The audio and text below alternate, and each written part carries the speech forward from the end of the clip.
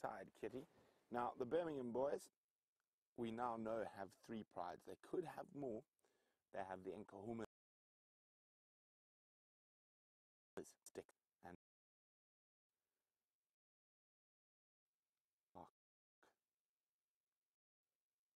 And he's looking quite well fed.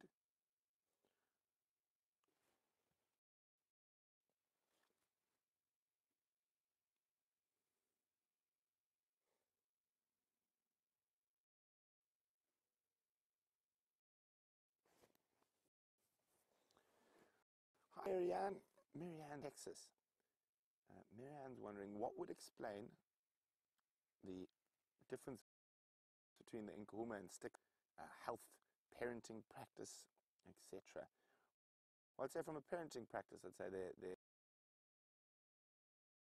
similar. From the health, being in the